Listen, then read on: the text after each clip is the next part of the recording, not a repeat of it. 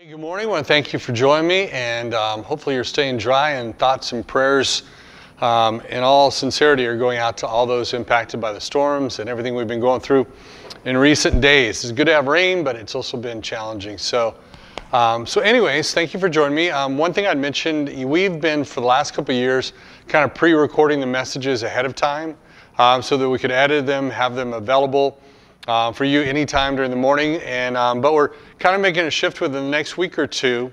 Um, we're going to be live streaming the first service. We have two services, one at 9 o'clock, the other at 10:30, and we'll live stream it so you can join in and watch um, after at 9 o'clock on. Um, sometime in there, it'll become available when we switch over to the message part, um, or you can. It'll immediately be available um, as soon as we finish the first service. It'll be available online for you able to watch as well, and so. Um, you lose a little bit of the um, convenience of being able to watch it, you know, before nine o'clock. Um, at the same time, it's a little more consistent with what we're doing on Sunday mornings and keeps us from having to record it ahead of time. So just make a note of that. That'll happen within the next couple weeks, and we'll communicate that on the website as well. And so um, I don't know how many times you've been flying or the longest trip you've ever taken. The longest trip I've ever taken, I've actually taken it three times, and it's to the Philippines. And getting to the Philippines is not without a layover along the way.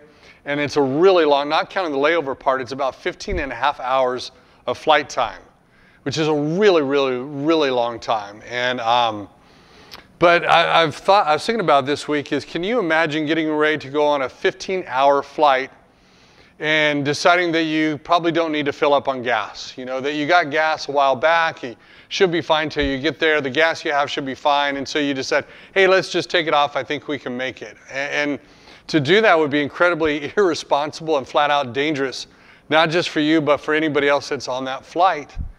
And in a similar way, it's somewhat irresponsible and not helpful to us nor others to not think about filling up our, our being filled with the presence and the goodness of God. You know, one of those ideas of just we accept Jesus Christ as our Savior, but the other part is are we consistent about filling ourselves up, filling up our tank on a consistent basis? And sometimes we're like kind of, you know, twice in my life I've run out of gas when I was driving, not, not flying, but driving. And, and both times it, it, there were gas stations along the way. I just pushed it. I thought I could get further. I didn't want to stop. It was inconvenient. And I think that sometimes people kind of approach time in God's presence that way as well is that, oh, I can get by, and we just get busy with life and distracted, and we feel like we don't have time. And as a result, we're kind of running on fumes, and it's not good for us, nor the people that we want to reach for the sake of Christ. And so we, we started a series last week called Outflow. It's based on what Paul wrote in Romans chapter 15, verse 13. It says, May the God of hope fill you with all joy and peace as you trust in him so that you may overflow with hope by the power of the Holy Spirit. I don't know if you caught that, but you know, it says, May the God of hope fill you. And then it goes on to say, May you overflow with hope by the power of the Holy Spirit. Um, it's as we immerse ourselves, you know, God is omnipresent, and when we accept, receive Jesus Christ as our Lord and Savior, then the Spirit comes to dwell in us. But there's this sense that the hope of the Holy Spirit should also overflow out of us. In Acts chapter 1, verse 8, Jesus said, When my Spirit comes on you, you will be my witnesses. So, as you are filled with the Spirit, there is an outflow of that. And, and you shall be my witnesses. And so, this idea of being filled with the Spirit and, um, and witnessing flowing out of us should go hand in hand. And uh, sadly, though, I read a statistic over the last week that was really concerning to me. Lifeway research found that only 3 in 10 unchurched Americans say they have ever had a Christian share with them how to be saved. I'll say that again. Only three out of 10 unchurched Americans say that at any point there's another Christian who shared with them how to be saved. You know, I don't know how we expect people to be saved if, um, if that small number are ever actually hearing from Christians how to be saved, if they're never hearing the gospel. Paul talked about this when he said, um, said, How will they know if they have not heard? And how are they going to hear if nobody tells them, if nobody preaches? It's our responsibility on some level to get out there. And so I was thinking a little bit, what are the reasons why people don't share more often? Why, you know, I've also read before that only 5% of Christians ever lead anybody to Christ over the course of their lifetime. And I think, why is that number so low? And it's not just out of resistance from people, but sometimes it's a, a lack of intentionality on our part sharing. And I know that sometimes it may be that it's outside our, you know, people's comfort zone to talk to other people about Christ, or sometimes maybe people feel um, inadequate or not really prepared. But I think on some level, some of it comes back to this idea of overflowing that, that as you're filled with God's Spirit, that you will be witnesses. It doesn't say you should, it just comes a lot more natural. And um, I was thinking about, you know, I remember um, in youth ministry, you've maybe seen this game as well. We used to do a game every once in a while where you'd have a, you know, a relay game with different lines of students, and on one end you'd have a bucket and the other full of water, and the other end of the students, you would a line of students, you would have another bucket that's completely empty, and then every one of the students in between those two buckets would have an empty cup. And when you said go, the goal was the first person closest to the bucket of water would scoop in there, fill up water, and pour it in the next person's glass, and then go on. They keep passing it forward, and they just keep this process going over and over and over. And the goal is to see who could, you know, fill up their bucket with the most amount of water within the allotted time. And I thought that's kind of a little bit like how it is with evangelism that, that you can't really fill up anybody else's cup unless your cup also is filled with water. But there's this idea that we fill, we're filled with the Holy Spirit and then we pass it on to others who pass it on and pass it on and pass it on. And that's the goal. But it always begins with, at some point, having your cup filled. And that's kind of the image I want us to think about this morning in this series is that idea of being filled with God's presence. And so this morning, you know, rather than focusing as much on evangelism, I want to go back to the foundation, and that's our own relationship with God. I want us to think about our own relationship with God, and, and I want us to think about, you know, what, what are some specific ways that we can fill our cup, so to speak. And, um, and so the first point this morning, really just kind of the basis of this, I think it's important to understand that there's nothing God wants more for you than a close relationship with Him. There's nothing that God wants for you more than for you to have a close relationship with Him. Out of all the different blessings, all the different things, the one thing that I really believe that God wants most for each and every one of us is to have not just to be saved, but also to have a close personal relationship with God. A lot of times people say, God wants more than anything for you to be saved. And yeah, that's it, but that's not an end. And, eh, you know, is that it's a means to an end to live in close fellowship with God. It's not just about getting us into heaven, it's about getting us into fellowship. Blaise Pascal said this. He said, There is a God shaped vacuum in the heart of each man which cannot be satisfied by any created thing, but only by God the Creator, made known through Jesus Christ. He says there's a God shaped vacuum inside each one of us, and that vacuum can only be filled by God. And whether we recognize it or not, we are created for fellowship with God. And if we're not living in fellowship with God, then there's this missing piece of our life. In Revelation chapter 3, verse 20, Jesus said, Here I am. I stand at the door and knock. If anyone hears my voice and opens the door, I will come in and eat with that person and they with me. So I've shared this, you know, a few years back I shared it, and I think about it more around Christmas time. And maybe you remember me sharing this before, but when I was in junior high, I went to, um, our, our, church was in Pismo Beach, it was Grover Beach actually, te- technically at the time. And around Christmas time, um, leading up to that, our leader said, hey, let's get a float for the for the parade, you know, for this Christmas parade that happens on Grand Avenue. And we thought, oh, that sounds so cool.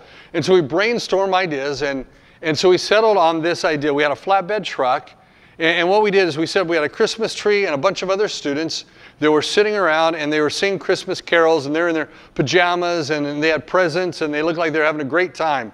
So we had all this kind of set up there. And then there's this door, and then on the other side, I was chosen to be in the role of Jesus. So I was dressed like Jesus in a robe. And my role, you know, during that time was just to stand on the other side of the door and just to knock and knock and knock. And then the side of the truck, it said, Is there room for Christ in your Christmas? Is there room for Christ in your Christmas? Pretty cool. We even took second place in the parade. I thought that was awesome. You know, but this idea, is there room for Christ in your Christmas? And, and I remember at first when we started, I thought, that's so cool. I get to be Jesus. That's the most important part of the float. That's the most important thing is being Jesus. But as we're going along and I was doing this, you know, for a while and they were all having fun, I realized I felt isolated and I got tired. I was doing this or switching hands and it's just dragging. For a minute, I actually understood what that's like for, for, for Jesus, for God just to be constantly knocking on the door of our life. And He doesn't break through, He doesn't force Himself. He just continues to knock and says, If you just open the door, I will come in and I will have fellowship with you. God wants more than anything to have a close relationship with us, not just to get us in heaven, but to, to have fellowship with us. In fact, a lot of times, probably most of the times you've heard that verse, you know, that I just read from, you know, Revelation 3.20, usually it's used within the context of presenting an opportunity for people to accept Jesus Christ as their Savior. You know, I stand at the door and knock. If anyone opens the door, I will come in and have fellowship with him. And so we kind of frame it as though it's inviting people to be saved. And while there's certainly biblical truth to that, you have to keep in mind that, that Jesus spoke those words to a church. Jesus spoke those words not to a bunch of pagans outside the church, but he, he spoke those words to a church that had been drifting in terms of their fellowship with him. And, and so, can you imagine Jesus saying to Christians, to a church, saying, if you would just, you know, I'm standing at the door and knocking, and just, would you just let me in so I can come and have fellowship with you? I think how crazy it is to, as Christians, you know, for, for Jesus to have to keep knocking because he's not really part of our life. We're not really living in fellowship with him. You know, in terms of that idea of inviting Jesus in, I think sometimes we're not a great host sometimes. I mean, we're not always a great host. I mean, think of it this way. Can you inviting, imagine, um, somebody inviting you to come to a dinner or, or to a party. And, and so you're excited, it's so cool, they invited me over for dinner. And then you show up for dinner and you're, you're there, you're ready to eat with them, but the entire night goes by and they've hardly even said three words to you the whole night. The very person that invited you to come to dinner just gets so busy with everybody else and everything else going on that the night goes by and they've hardly even spoken to you. You think, man, that is so incredibly rude. But I wonder how many times, even as Christians, people invite Jesus to come in and to be their Savior. They invite Him in, but then they get busy and distracted and don't really, they're not a good host, don't spend time in fellowship with Jesus. And I don't know if that sounds like you at all this morning, where it's like, well, I've invited him in, but yes, are you being a good host? Are you living in fellowship with him? I think about the Westminster Catechism. Um, it says the chief aim or the chief purpose of man is to glorify God and enjoy Him forever. The chief aim of man is two things what we're all about glorify God, enjoy Him forever. And I have to confess, in my lives, there have been times where I have been so focused on trying to glorify God that I forget sometimes to just enjoy Him. So busy doing good and godly things, even in the name of Jesus, that we're not really spending time in the presence of Jesus. We're not enjoying God. And I would say if we continue to try and do things to glorify God, but we're not really enjoying fellowship with Him, at some point we will not enjoy doing those things for God. You know, it'll, it'll become just, you know, acts or tasks that we carry out because we think we're supposed to, but it doesn't overflow out of us. And the truth of the matter is, I'm not sure anything glorifies God as much as when we just want to hang out with Him. And, you know, that's the picture we have. You know, a, a classic example of this is found in Luke chapter 10, verse 38 to 42. And it says, As Jesus and his disciples were on their way, he came to a village where a woman named Martha opened her home to him. He, she had a sister called Mary who sat at the Lord's feet listening to what he said. But Martha was distracted by all the preparations that had to be made. She came to him and asked, Lord, don't you care that my sister has left me to do the work by myself? Tell her to help me.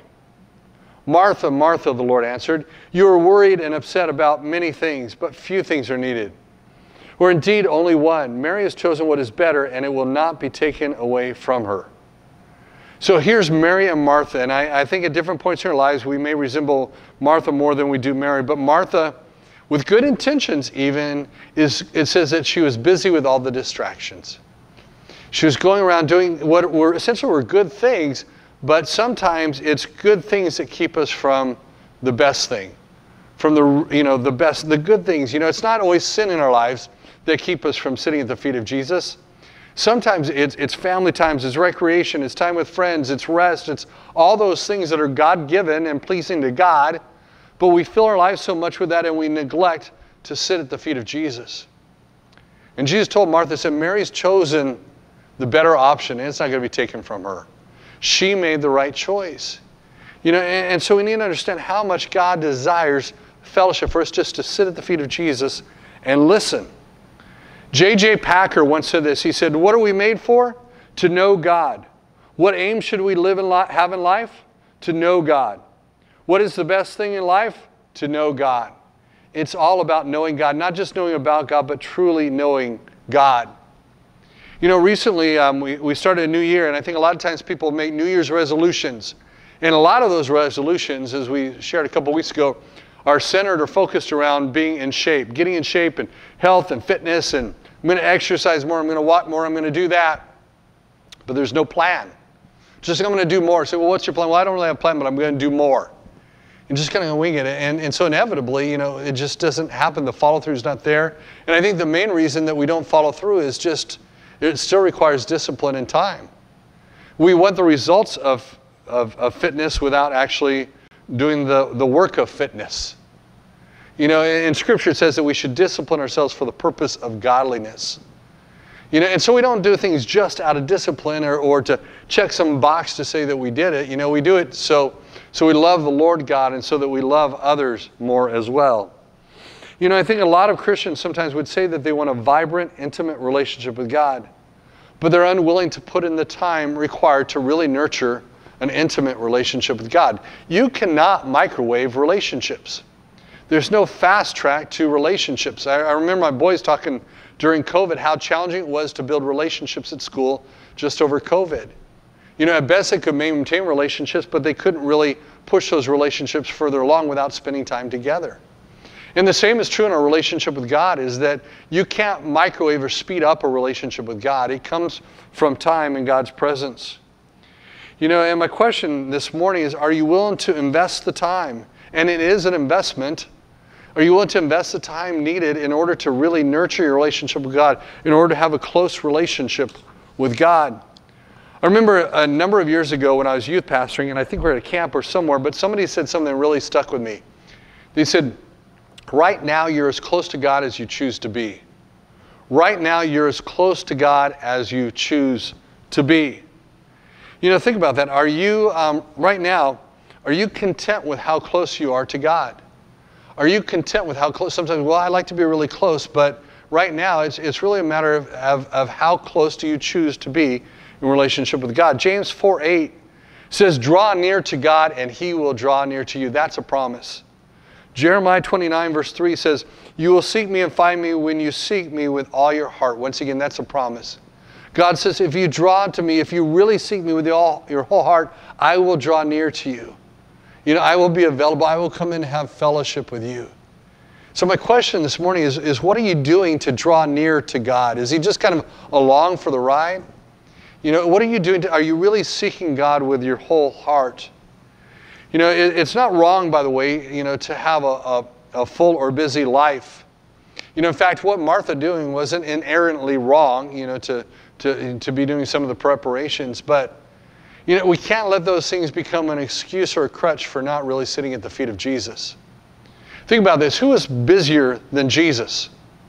You know, Jesus was really, every time he turned around, there's a crowd of people that wanted something from him. Jesus had a busy, full life. But we also read in Scripture that Jesus often withdrew to lonely places to spend time in prayer. You know, and the busier life becomes, the more we need to sit at the feet of Jesus and fill up our tank. You know, this morning I want to suggest four specific ways to just fill up the tank. And, and, there's more ways than this, but I chose to focus on four. And let me say this, especially to those of you who are watching online, is that I know for a variety of different reasons that some of the things I'm going to share aren't as easy for you to do, maybe because physical reasons, health reasons, just a place in life right now where you're not getting out as much as you once did for a variety of different reasons. Totally get that. No shame at all. I'm so glad that we're able to provide what we do online. We even have some Bible studies that are, are Zoom. And so, no shame in that. And so, with that disclaimer, though, I, I want to share what I believe are four biblical ways to fill up our tank. And, and the first thing is this just talk to God throughout the day. Just talk to God throughout the day. I call this Fitbit prayers. Fitbit prayers. Kind of even before they had Fitbits, they had pedometers. I think that's what they're called. Pedometers, where people would get these things and they'd wear them almost like a watch or whatever, and count the number of steps you had every day. And then Fitbits kind of came along and, and became even a better, more accurate way to track, you know, your number of steps and a variety of different things. And, um, and, and so the whole premise of the, and the goal was essentially to, to get I just remember hearing you're supposed to get 10,000 steps a day. And so for people that, even if they didn't block out, you know, a half an hour, an hour to, to break a sweat and exercise, they would try and become more intentional about walking and moving over the course of the day. So they'd park further away, you know, than they normally do, or they'd walk, take the stairs rather than elevators. Just they would incorporate it into their lives over the course of the day.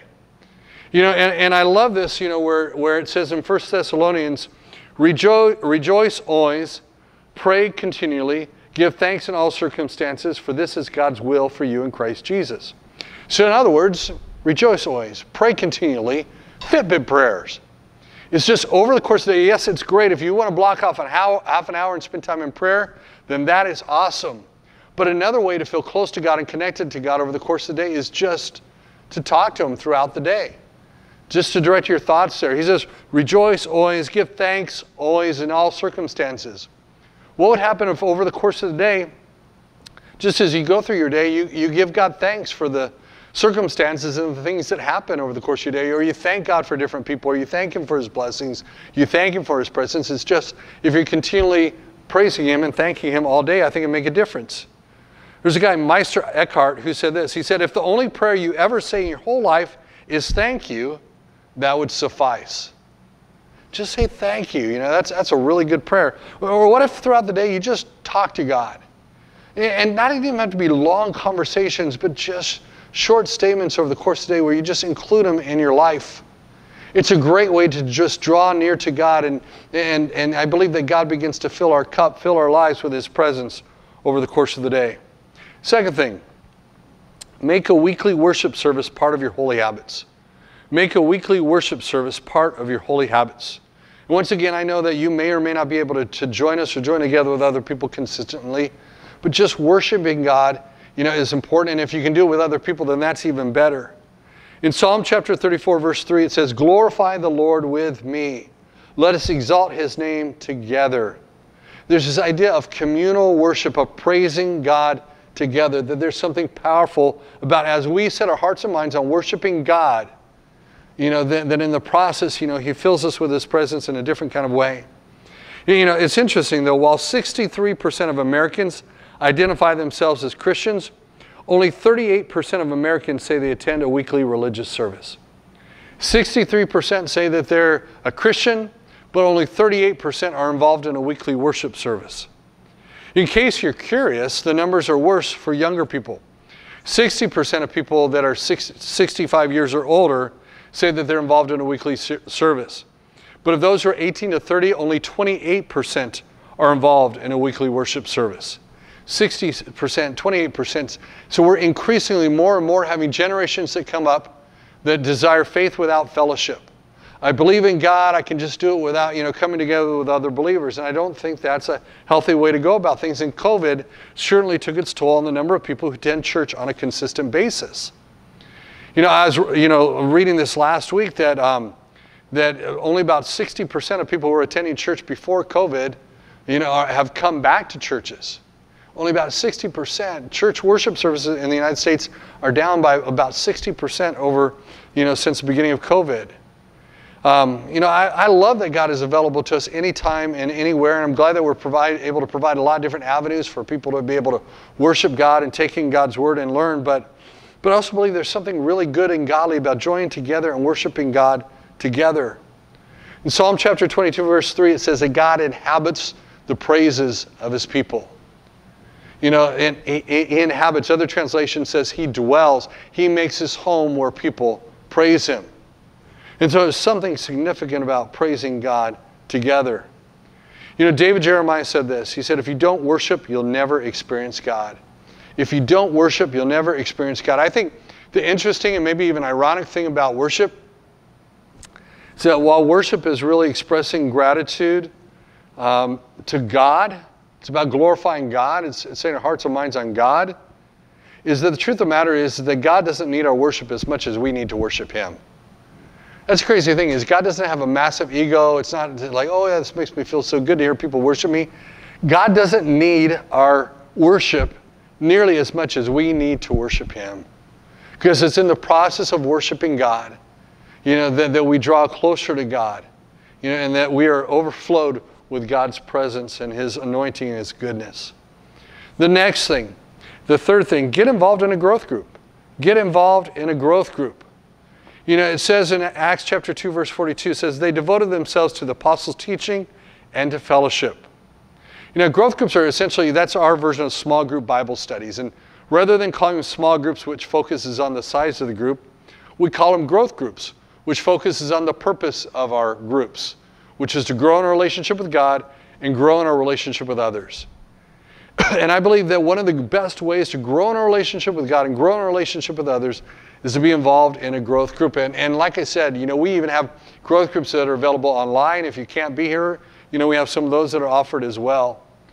You know, and um, in, in Hebrews chapter 10, verse 25, it says, Let us not give up meeting together, as some are in the habit of doing, but encourage one another, and all the more as you see the day approaching. Let us not get out of the habit of coming together, he says. Let's not give up that habit. It's interesting. I, I, read before that it takes two weeks to fall out of a habit and five weeks to develop a habit. Five weeks to develop a habit and only two weeks to fall out of a habit. You know, and so we have this habit of time in God's presence and with God's people, and then we have this habit of being involved in, in, in, in groups. But boy, we can fall out of that really, really quickly. You know, it's interesting. It, it says we should be coming together even more as the day draws near. You know, but instead, it seems like in churches we're going opposite. Rather than coming together more for the purpose of encouragement, we're coming together less. You know, if you're my age or older, you probably remember if you grew up in the church, I remember, you know, we'd have Sunday school on Sunday mornings and we'd have worship service on Sunday mornings. And then, you know, a lot of people come back for another service in the evening and then then a lot of people are involved in small groups over the course of the week. You know, and now we're doing pretty good if we have people to come for an hour a week. You know, and, and then what happens is people keep going from church to church to church to church because they don't feel connected and they're not growing enough in their relationships. And, they, and, and I don't know that we can feel the sense of connectedness if we're not involved in some kind of community group together. You know, even before COVID, the percentage of people involved in a small group was in decline. But the impact of COVID on small group participation is undeniable. And I would say in our church that we were able to keep going pretty well with our worship services more than we were with our small groups. You know, we're still trying to put that back together. And some people who've been able to lead them before, kind of aged out, aren't anymore. We need more people to lead, lead groups as well. And, but I was reading this, this this week. Just prior to COVID in 2020, 59% of the American churchgoers said they participated in small group. So only almost 60%. Still not great. There's still over 40% of those who go to church that weren't involved in a small group. But, but that number was a 59%. But, with, but within a year, but this number dropped to 37% in 2021. Went from 59% to 37%. 22% of, you know, drop in that. Um, and, and, while some, some people have returned to a small group, there's others that still have not found their way back. You know, um, it's interesting. A lot of times we measure the success of a church by its worship services. And I thinking about Rick Warren, who pastored for a number of years, pastored Saddleback Church down in Orange County, and it grew like crazy. Massively large mega church reaching thousands of people, and, and lots of people come to worship services. But in many ways, to Rick Warren, it wasn't uh, as important. He didn't measure the success success by the size of their worship services. Listen what he said about their small groups. He said, The New Testament model for a healthy church is large group worship and small group fellowship. Small groups are the purest expression of the church. I'm preaching this constantly. You've got to be in a group. You're not really a part of this church unless you're in a group. Small groups are where believers become belongers.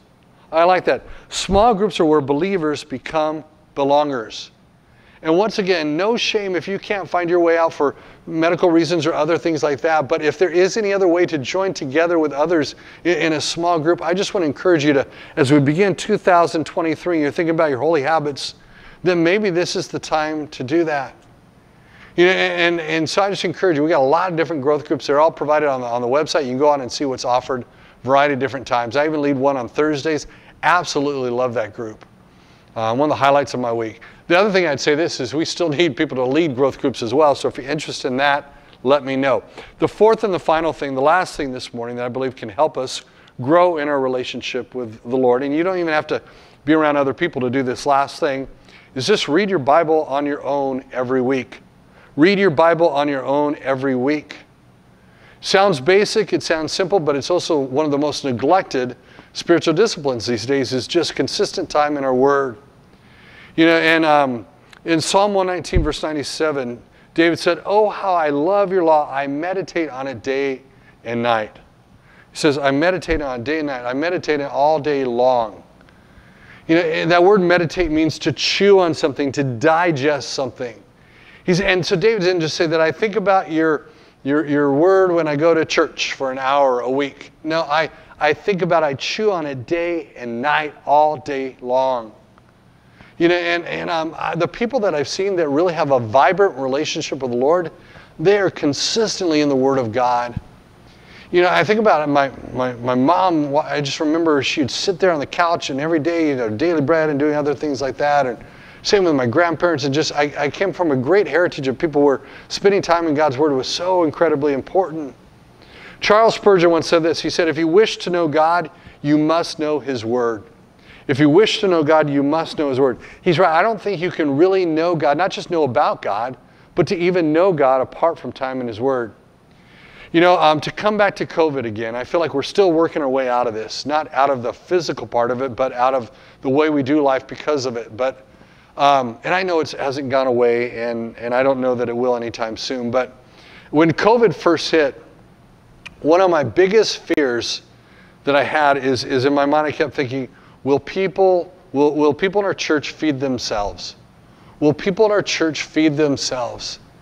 You know, if the only way they're really growing their relationship with the Lord is because they spend an hour a week at church, what's going to happen when they can't come together to, you know, to, to worship and spend time together in God's Word?